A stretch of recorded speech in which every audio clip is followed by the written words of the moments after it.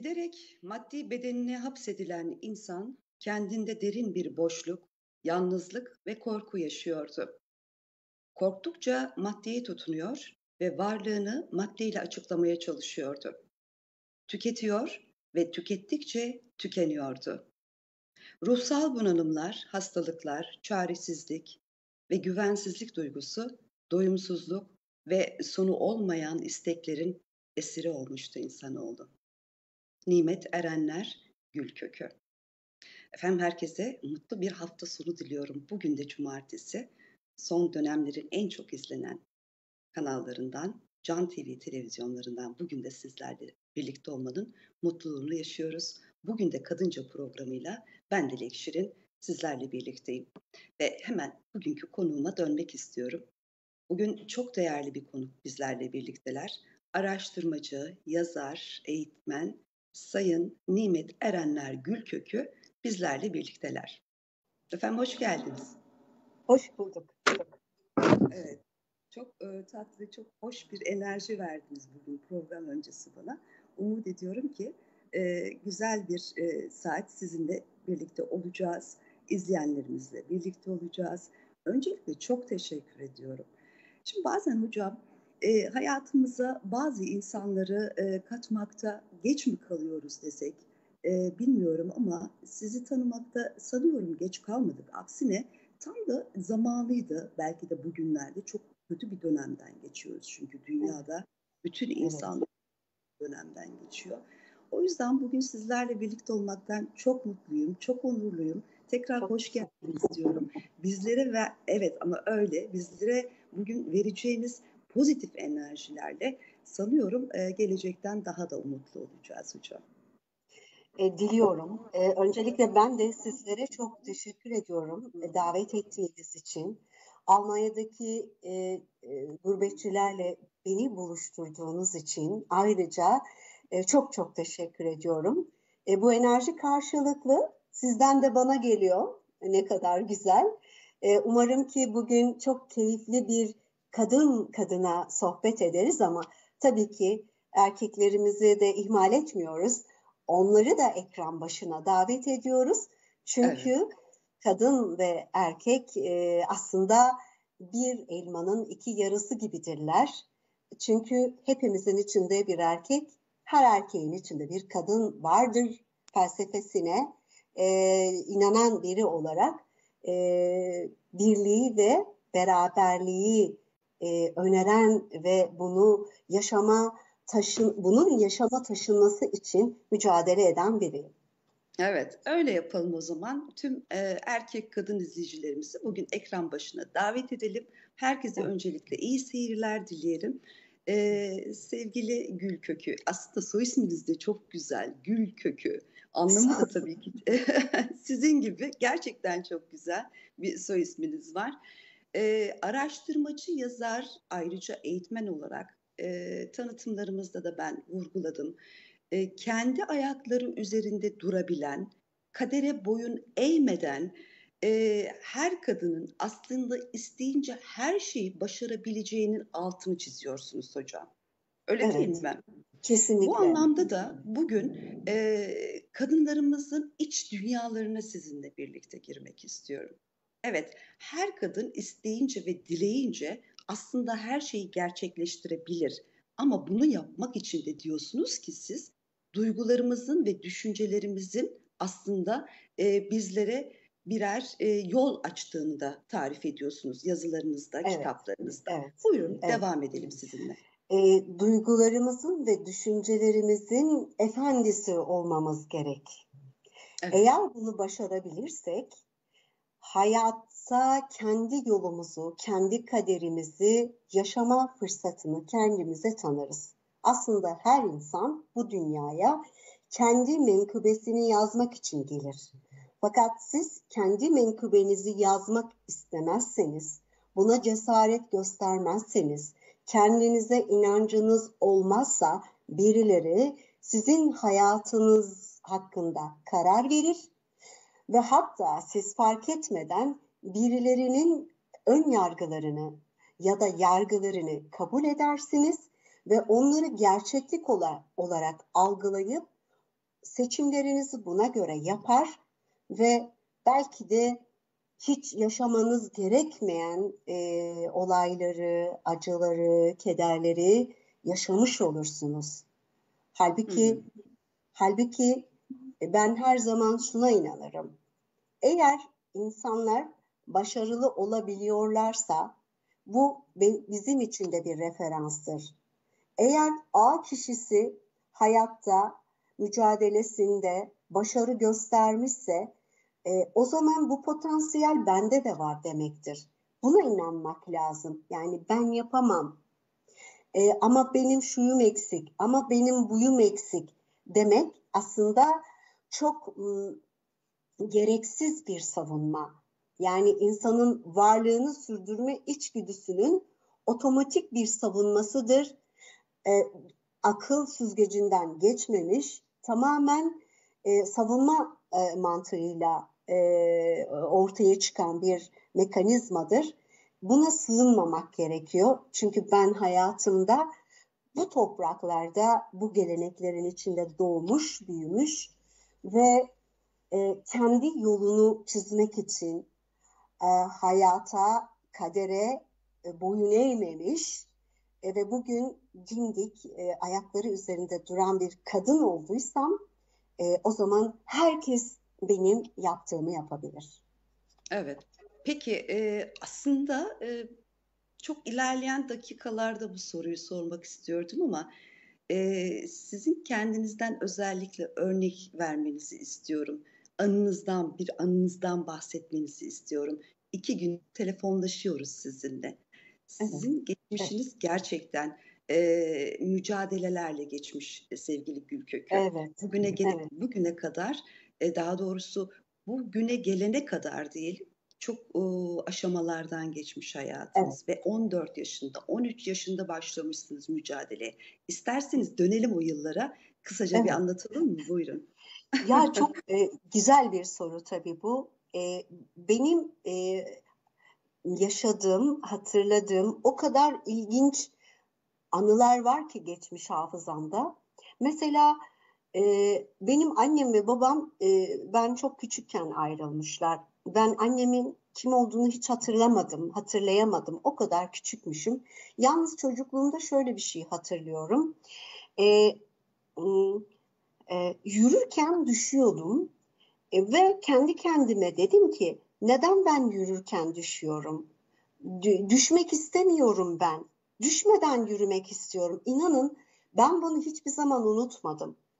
Yani Hı-hı. o kaç yaşındaydım? Yani düşünsenize yürümeye yeni başlayan bir çocuk ama bakın aslında içimizde bir bilgeyle doğuyoruz biz. O bilge bize rehberlik ediyor. Mesela ona kulak vermek. Yani o çocukken bana onu fısıldayan ses aslında benim ruhumdan gelen sesti. O evet. hepimizin içinde o rehber var. Ona sırtımızı dönmememiz lazım. Bu küçücük böyle araya sıkıştırdım. Size de belki sürpriz oldu. Ama evet. hani gerçekten bizim halk arasında şöyle bir sözümüz var. Koçun iyisi kuzuyken belli olur diye bir söz vardır. Ben bunu yıllar sonra daha daha da çok net anladım. Ben e, ortaokula e, yani aslında ilkokulu bitirdikten sonra işte e, babam her e, insan gibi kız çocuğunu okutmaya yani dilde e, gerçekten isteyen, e, eşit davranan biri ama fakat şunu gördüm ben. Geleneklerimiz maalesef ki e, dille e, uygulama arasında e, bir uyumsuzluk her zaman ortaya çıkarıyor ki ben de bunu yaşadım. E, babam e, bu kadar öğrenmeye ve okumaya meraklı biriyken ve kız çocuklarını da okutmak isterken fakat ben hep bir problemle karşılaştım nedense. Ortaokulu bitir, ilkokulu bitirdikten sonra ortaokula kaydolacağım. Babam e, biraz böyle bir değişik bir dil kullanmaya başladı. Sanki beni göndermek istemiyormuş gibi. Fakat hı hı. ben orada çok ısrarla e, kaydolmayı başardım. Yani babamı ikna ettim. Ortaokulu bitirdim. Liseye başlayacağım. E, yaklaşık 14 yaşlarındayım. Artık liseye kaydolmam gerekiyor. Babam hiç ilgilenmiyor. E, kayıtlar bitmek üzere. Babam hala ilgilenmiyor. Soruyorum baba hani e, liseye kaydolacaktım ben. E, işte sen erkeklerle aynı sırada mı oturacaksın? İşte e, e, o yaş grubu artık olmaz. Baktım e, babamın hiç niyeti yok beni kaydetmeye. Ben çıktım okula gittim. Kendimi kaydetmek üzere ve tek başınıza. Tek başıma ve hı hı. öğret e, e, öğretmenim dedi ki yani aslında müdür dedi ki kızım dedi ben dedi seni kaydedemem çünkü dedi sen velinle gelmen lazım senin. Ben de dedim ki ama babam gelmiyor ki dedim. Kayıtlar bitecek öğretmenim. E, babam gelmiyor ki dedim. Ben okumak istiyorum dedim. O da bana ama olmaz dedi. Yani velin olmadan biz kayıt yapamayız dedi. Çıktım okuldan. O kadar üzgünüm ki. Ama bir taraftan da düşünüyorum. Yani velin olmadan kaydolamazsın diyor. Peki kim benim velim olacak? Babam gelmiyor. Kim olacak? Yoldan baktım bir adam geliyor. Elinde çocuğun, çocuğunu tutmuş kayda getiriyor. Durdurdum onu. Dedim ki e, amca amca sana bir şey sorabilir miyim dedim. Ben dedim okula kaydolmak için geldim ama öğretmenim beni kaydetmedi. Velin gelsin dedi. Benim velim olur musun dediğimde inanın adamın gözleri doldu. Gel kızım dedi tuttu hiç elimden. tanımıyorsunuz değil mi? Hiç Bahsedilen tanımıyorum. Hiç tanımıyorsunuz. Hayır evet. hiç tanımıyorum. Hı hı. Fakat hı hı. E, o an e, böyle bir destek e, geldi, e, böyle bir şey geldi içinden ve teklif ettim, kabul etti sağ olsun. Gittik biz e, ve adam dedi ki ismini hatırlamıyorum. Çok isterdim hatırlamayı. E, çünkü ona adam deme, diye hitap etmek istemiyorum e, ama maalesef ki çok geçmiş zaman e, kim olduğunu bilmiyorum. E, bu dedi benim yeğenim. E, ben kızımı da kaydetmeye geldim. Yeğenimi de kaydetmeye geldim. Velisi benim dedi ve beni o gün okula kaydetti. Evet. Ve hiç tanımadığınız birisi. Evet. Hiç tanımadığım bir insan. Ee, ve tabii eve geldiğimde ben babama baba ben okula kaydoldum dediğimde e, babam e, biraz kızdı e, böyle bir şey izinsiz yaptığım için. Açıkçası ben de o gün biraz ürkmüştüm e, babamın nasıl bir tepkiyle bana karşılık vereceğini. Fakat göze almıştım her şeyi. Çünkü gerçekten anlamayı, okumayı, e, o kadar çok yüreğimde hisseden biriydim ki bu aşk hep böyle devam etti ama ben liseyi bitirdikten sonra da aynı sorunları yaşadım. Ve babam bu sefer de üniversiteyi kazandığım halde beni üniversiteye göndermedi. O hikaye hiç bitmedi. Bakın aslında burada size yazılan kader mi, sizin yazdığınız kader miyi aslında bir anlamda evet. örnekliyoruz biz burada. Ee, eğer orada bir irade sergilemeseydim e, olmayacaktı. Fakat üniversitede biraz yenilgiyi kaybettim. Çünkü neden? Farklı bir e, e, şehre gidecektim. Orada ekonomik sorunlar e, olacaktı. Babam eğer bana para göndermeseydi kalacağım yurt vesaire derken ben orada tıkandım. Ama bir de bizim zamanımızda, bizim kuşağımızda e, liseyi bitirmek gerçekten çok iyi bir tahsildi. Çok iyi bir tahsildi. E, e, sene 1982 yılından bahsediyorum. Fakat bu üniversite benim içimde ukde olduğu için yıllarca rüyalarımda ben üniversiteye kaydolmuşum ama gidemiyorum. Bir türlü gidemiyorum, bir türlü gidemiyorum. En sonunda eşime dedim ki ben okumak istiyorum destekler misin beni dediğimde bana şunu söyledi. Eğer istiyorsan Nimet ben yanındayım. Ve ben İstanbul Üniversitesi'ni yüksek onurla sosyoloji bölümünü azimle, yüksek onurla bitirdim. Ee, yani ukteler olmamalı insanın içinde.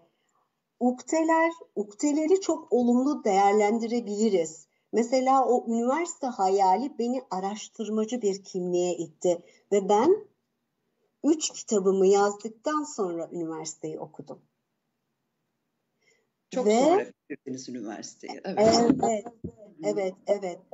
Ee, yani üniversite size bir diploma veriyor. Ee, sizin kendinizi yetiştirmeniz çok çok daha büyük bir e, e, azimdir. E, çünkü yani diplomaların arkasına sığınmak marifet değildir.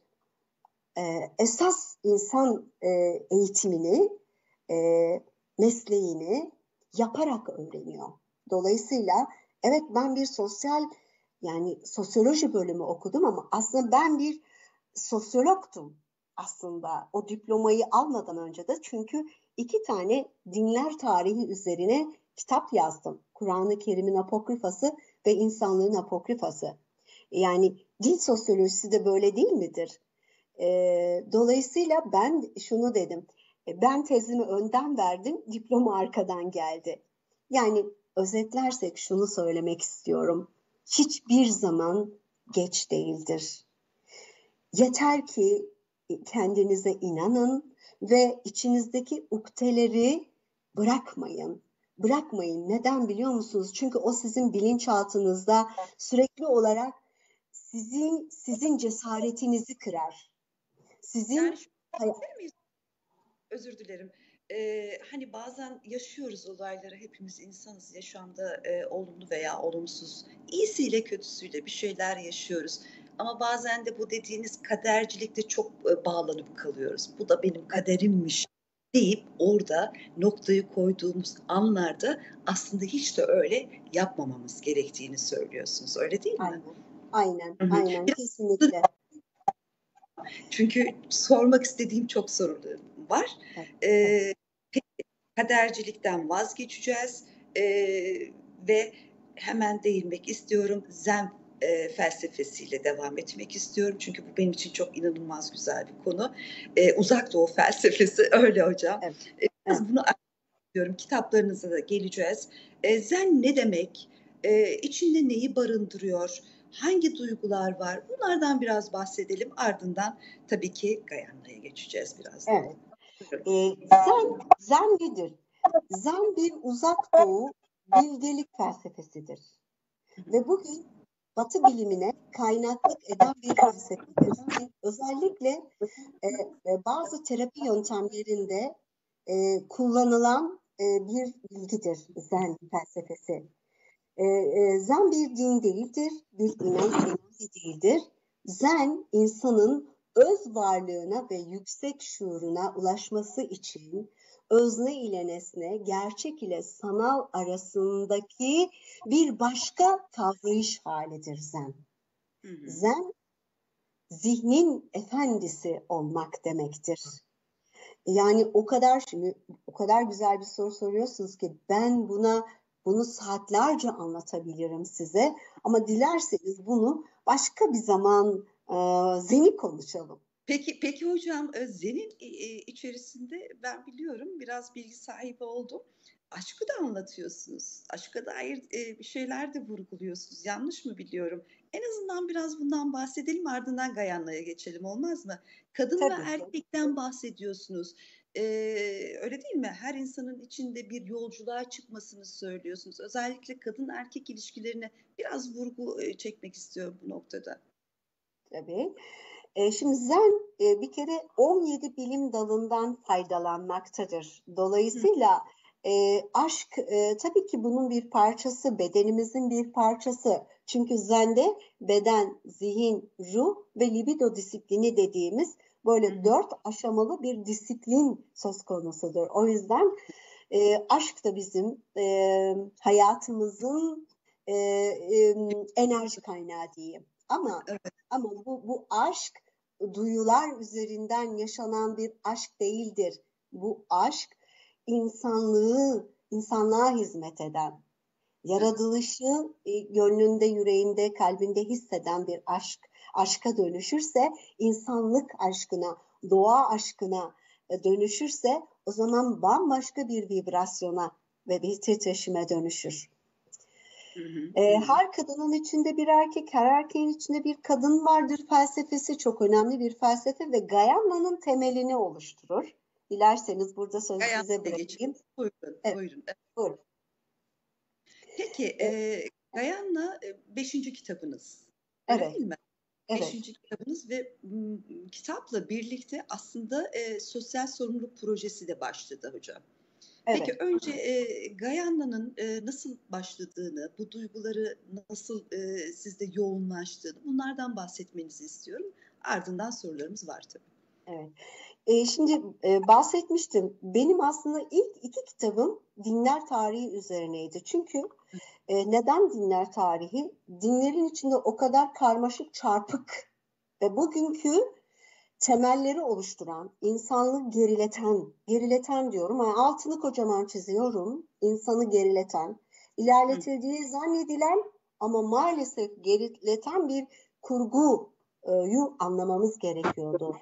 Ee, o yüzden o tarihi çok iyi bilmemiz gerekiyordu. Çünkü toplumsal altyapımızın kolektif alt hafızalarımızdaki bu bilgilerin çarpıklığından önce arınmamız gerekiyordu. Ee, benim üçüncü kitabım bilinçteki sıçramalar. Yani bununla bireyin kendisine indim. Çünkü ben aynı zamanda 18 yıldan beridir zen eğitmenliği yapmaktayım. Zen felsefesini aktarmaktayım. Yüzlerce öğrenciye bu eğitimi verdim ve hala vermekteyim. E, dördüncü kitabım insan e, e, küllerinden doğmak benim makalelerimin bir derlemesidir. E, biraz Paula Cole tarzı bir kitaptır bu. E, Cole'u okuyan e, okuyucular bu kitabı severek okuyacaklardır. Evet. Ve gelelim Gayanna'ya. Gayanna'da kadını ele almak istedim. Neden?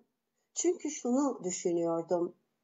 Eğer bir toplumun iyileşmesini istiyorsak, ilerlemesini istiyor isek, kadının mutlaka ele almalıyız.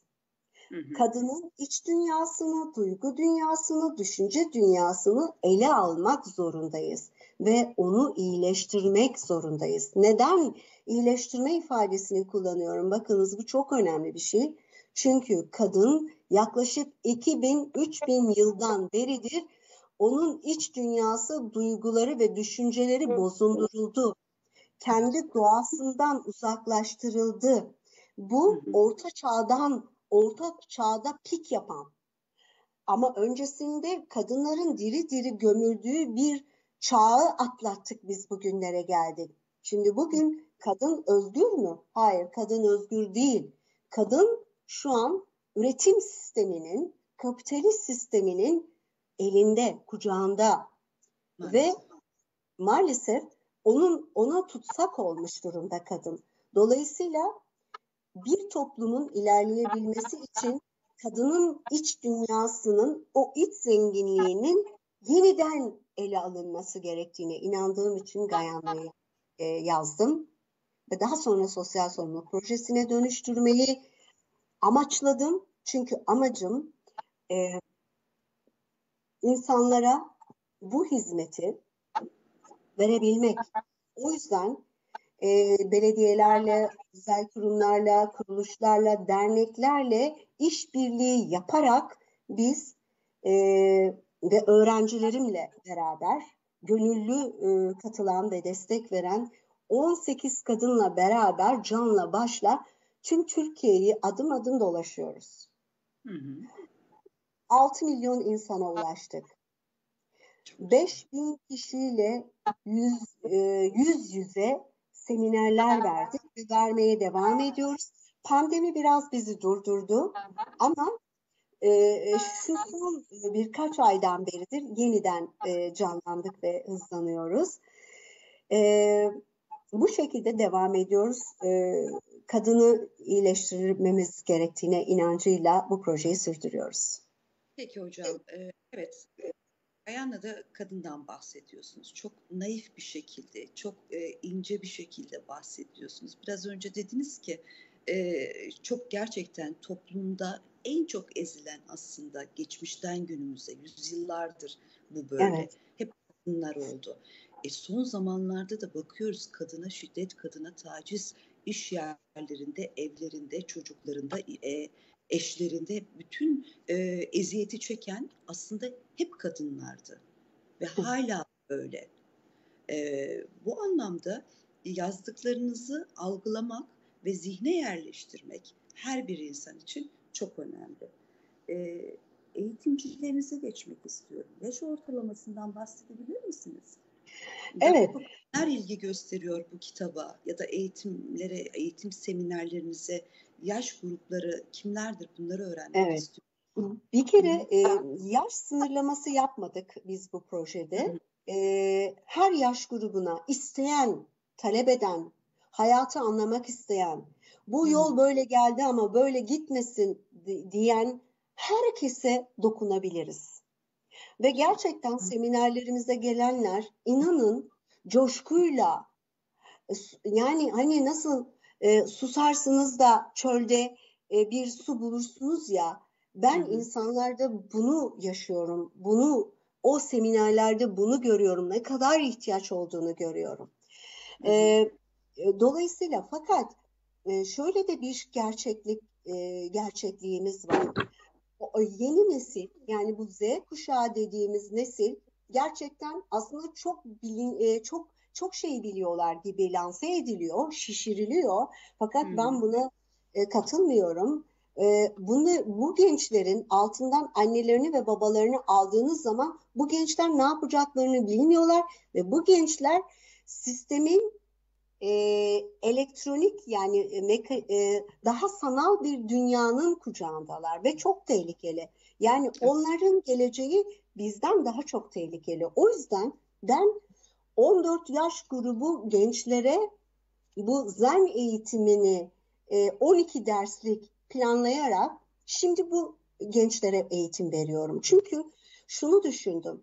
Yani bir yanlışın kökleşmesi durumunu telafi etmek çok zaman alıyor. Fakat bu pırıl pırıl dimaları hani ağaç yaşarken eğilir misali bu dimaları e, daha 14 yaşındayken yakalayıp buradaki aileden gelen bir takım yanlış kurulumları, kaygı ya da özgüven yetersizliği dediğimiz, e, becerilerin gelişmemesi dediğimiz, algıların gelişmemesi, yani zihnin zihni kullanma perspektifini genişletebilmek için bu yaş grubunun ile çalışıyorum ve inanılmaz güzel bir sonuç almaya başladım bu gruptan.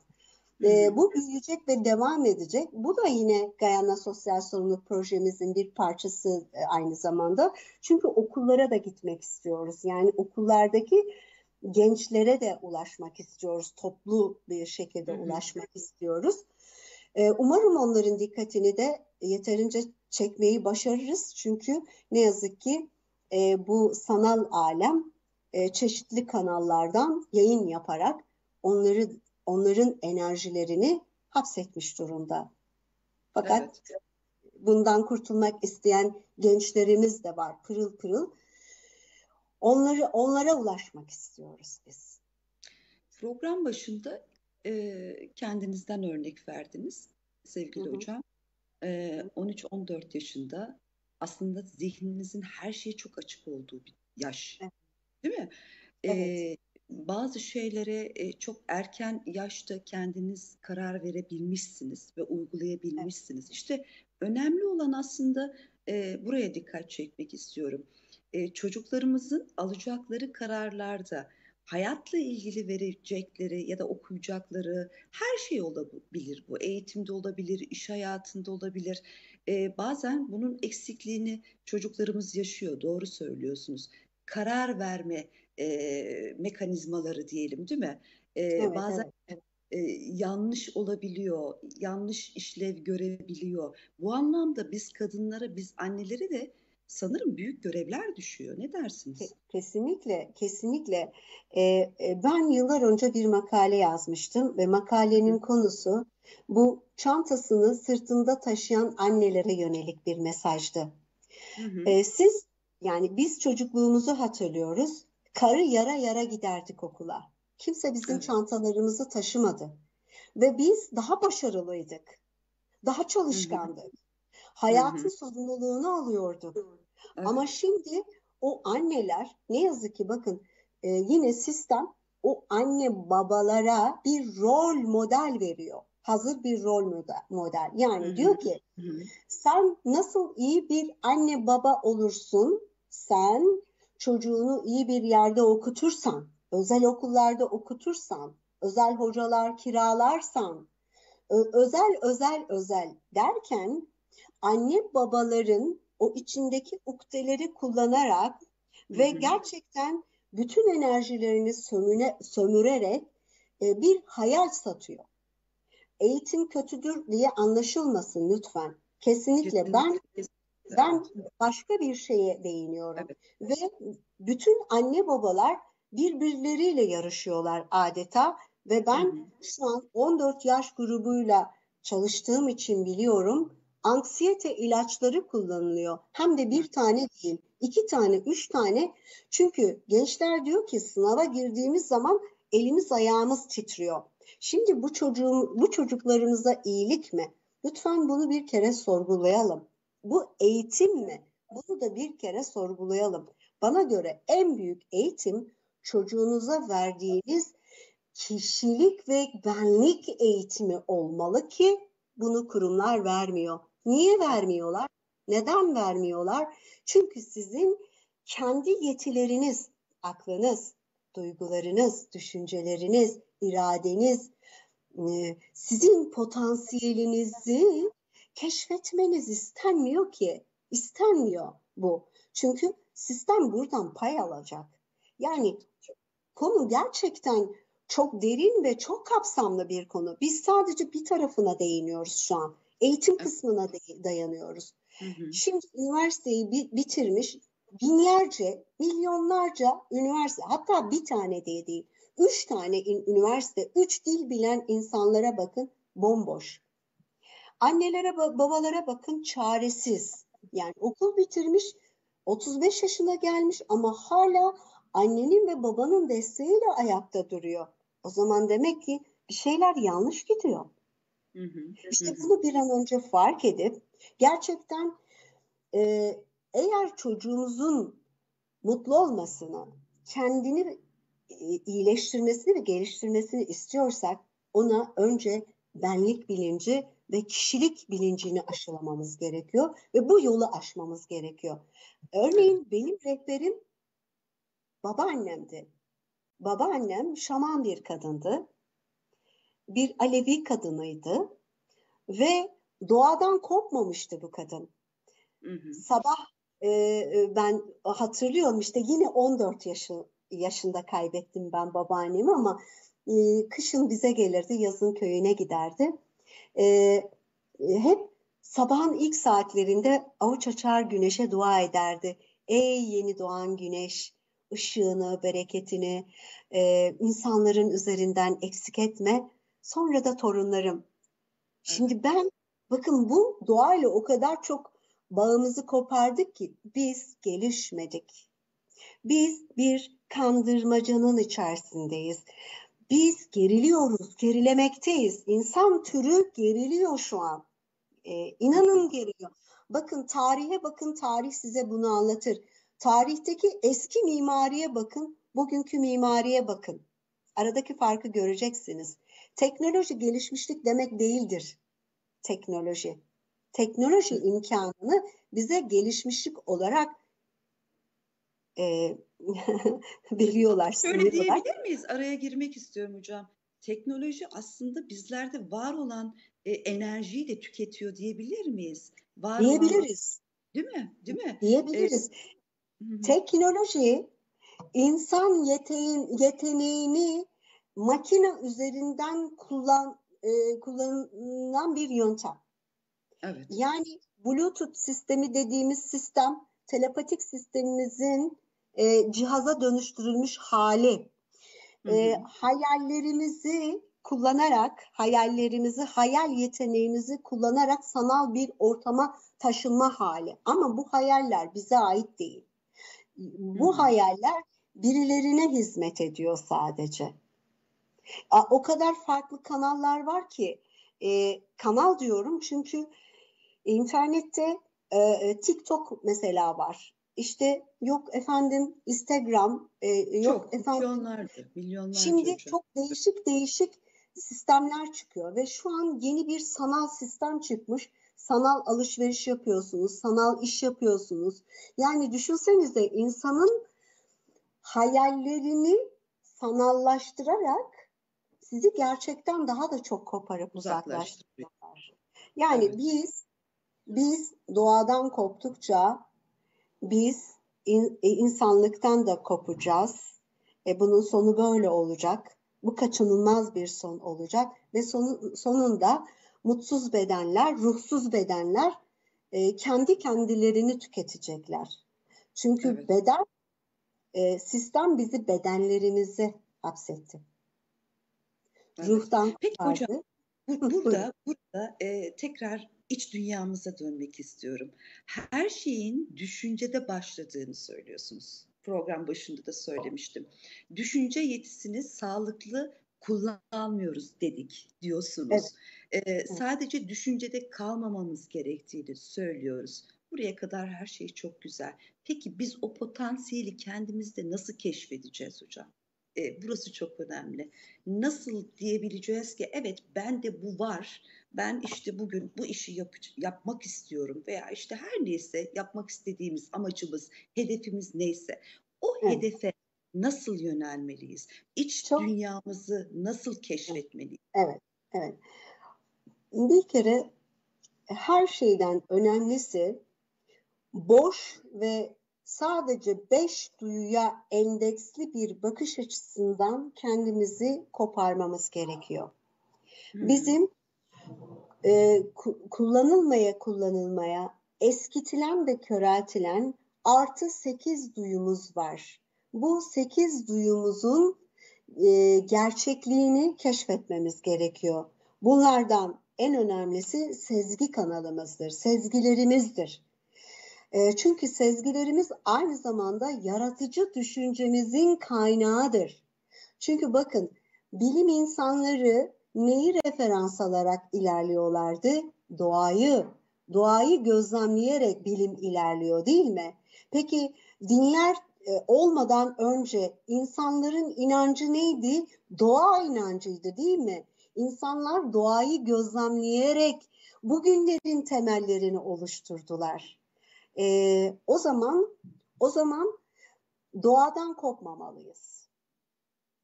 Yıldızların olduğunu, nefes aldığımızı, bir güneşin hayatımızdaki önemini hatırlamak zorundayız. Biz bunları hatırladığımız zaman beden ritmimiz değişecektir. Algılarımız değişecektir ve e, bize hisler olarak gelecektir ne yapmamız gerekir. Mesela e, ben bu yöntemi kullanan birisiyim. Evet zihnimin efendisi olmayı tayin ettim ve bugün insanlara yaydığım frekansla ulaşabiliyorum. Hiç tanımadığım insanlar benimle iletişim kuruyorlar. Bunu nasıl yapıyorlar? Çünkü hepimiz bir yayın yapıyoruz birbirimize. Hepimiz e, dalga boyunda beynimiz çünkü bir dalga frekansıyla çalışıyor. Çünkü elektrik kullanıyor. Bedenimiz de bir elektrik kullanıyor. O zaman cep telefonumuz da bir enerji kullanıyor. Bakın hep aynı şey. Aynı şey, aynı yani bir, evet. evet aynı şey. E, dolayısıyla yani teknoloji insanı taklit eden bir e, alet aslında. E, o zaman doğru insanları seçmemiz lazım hayatımıza e, güzel insanlarla, başarılı insanlarla daha sık görüşelim. Onların dikkatini çekebilelim. E, çünkü biz onların dikkatini çekebilirsek, onlarla etkileşime girebilirsek gelişmek daha da hızlı olacaktır. İyi yayınları takip edelim. E, felsefeyi önemseyelim hayatımızda. Psikoloji, felsefe, tarih, bilim bunların hepsi gelişim için çok önemli. Kişiliğin hmm. oluşması için de çok önemli bunlar. Çünkü kişilik e, e, bir bütündür. E, insan evet. çünkü insan sosyal bir varlıktır, ruhsal bir varlıktır ve aynı zamanda bedensel bir varlıktır. E, bu üçünü birlikte tanımamız gerekiyor ve birlikte hareket ettirmemiz gerekiyor. Her şeyden önemlisi de sadece bedenden ibaret olmadığımızı ve bir ruhumuz olduğunu hatırlamamız gerekiyor. Çünkü ruh bedeni kapsar. Ama sistem bize ne yaptı? Beş duyu üzerinden bir algı üzerine oturttu. Gerçeklik budur dedi. Oraya çekti. Şimdi bir sanallığa çekiyor bizi hı hı. ve gerçeklik budur diyor. Hangi oyunu oynamak istiyorsak seçim bizim. Peki hocam son beş dakikamız ama sormak istediğim önemli bir soru var. Geç kalmışlıklar var hayatımızda hepimizin. Ya da işte yaşamın içerisinde sonradan bulduklarımız var, keşfettiklerimiz var. Ama bir de yaşadıklarımız var. Yani bugün yaşadıklarımız var. E, bu evet. anlamda Anlatabiliyor muyum? E, ne yapmamız gerekiyor? Yani elimizde olanlarla e, yetinip oturmak mı gerekiyor? E, çünkü kaybetmek de istemiyoruz. Ama bir de başka taraftan baktığınızda e, mutlu olmayı hak ediyorum diyorsunuz. Diğer seçenekleri de hayatınıza geçirmek istiyorsunuz. Ne yapabiliriz? Evrenle diyorsunuz gerekiyor. Burada hemen şuna dikkat çekmek istiyorum. İki soruyu birden yöneltiyorum farkındaysanız. Bahsettiğiniz e, düşünsel, evrensel düşünce inancımızda da var aslında öyle değil mi? Siz bir evet. Alevi e, ailenin kızı olarak e, ben sizi tanıyorum, biliyorum. Aslında ne güzel değil mi? Yani çok da uzak olmayan bu felsefe, yaşam evet. felsefesi bizlere hiç de uzak değil bu anlamda. Peki son bir iki cümlenizi bu iki soruyla birlikte e, vaktimiz kalırsa ayrıca bir soru sormak istiyorum. Neler söylemek istersiniz? Ne yapalım bu o, birbirinden ayırmak için ya da seçeneklerimizi kullanmak için nasıl? Öncelikle öncelikle evet. hiçbir şekilde ayırmıyoruz. Ee, doğrularımız ve yanlışlarımız ikisi de bize lazım. Yanlışlar evet. bizi doğruya götürmek için referans olarak lazım. Doğrular ise e, bizim e, daha sağlıklı düşünmemiz için yani hayatımızda doğrularımız ne kadar fazla olursa bilinçaltımızda doğrular o kadar fazla olacaktır ve biz doğru kararı vermek konusunda daha avantajlı konumda olacağız. O zaman ee, kaybetmemek, e, kaybetmekten korkmamamız gerekiyor. Öyle aynen mi? öyle, aynen öyle. Oradan bir ders çıkartabiliyorsak eğer, e, yaşam zaten bir mücadeledir. Yani ben mesela bugün bu olgunluğa bir günde gelmedim ki. E, düştüm, kalktım, yoruldum, ağladım, üzüldüm ve bugünlere geldim. E, ve şunu gördüm, e, gerçekten insan bir şeyleri aştığı an o içinde bulunduğu kötü ana teşekkür ediyor. Çünkü o olmasaydı eğer, o olmasaydı ben aileme teşekkür ediyorum. Belki de ailem bana oku kızım, oku kızım, oku kızım deseydi ben belki de beyin zıttıyla kavrar çünkü olayları. Beyin zıttıyla anlar. Ben belki de e, istemeyecektim okumayı. Ama benden esirgendi. Aslında ben bunu bir avantaja dönüştürdüm. Yani o yüzden ben şikayet etmiyorum hiçbir zaman hayatımda. Bunlar bana ilham verdi. Bunlar bana cesaret verdi. Bunlar bana gerekçe oldu. Eğer biz hayatımızdaki en olumsuz anları bir gerekçe olarak görüp ilerleme olarak kullanırsak bu enerji kaynağını negatiften pozitife dönüştürmüş oluruz ve bu bizde o kadar güzel bir farklı bir e, nokta bilgisine ulaştırır ki bizi. Çünkü evet. negatifi var, pozitifi var ama o artık ne negatiftir ne pozitiftir. Başka bir haldir artık o. Bir deneyimdir artık o evet. hayatımızda. Evet. İşte biraz o zaman önce affetmek de gerekiyor hayatımızda öyle değil mi hocam? Yani affedici bir ruha da sahip olmamız gerekiyor. Bu arada zamanımız da doldu. Bu affetme konusunu da başka bir gün konuşalım. Aynen, aynen hocam. Affetmek ee, bence büyüklüktür. Yani büyüklenmedir, büyüklenme. Ben bu konu bu bu kelimeye ihtiyatla yaklaşıyorum. Affetme değil. Önce kendinle barış. Kimseyi suçlamamak. Evet. Ben onu söylüyorum. Kimse de suç aramayınız. Kimseye suç atmayınız. O bana böyle dedi, bu bana böyle engel oldu, şu bana öyle Evet. dedi derseniz siz o engelleri Evet. hiçbir zaman kaldıramazsınız. Ee, ama ben bu konuyu nasıl aşarım dediğiniz an çözümler size açılacaktır. Anladım. Hocam e, o kadar çok konuşacağımız konu var ki izin verirseniz programı bitirmeden önce e, size çok ihtiyacımız var. Özellikle bu dönemlerde daha konuşacağım çok konu vardı.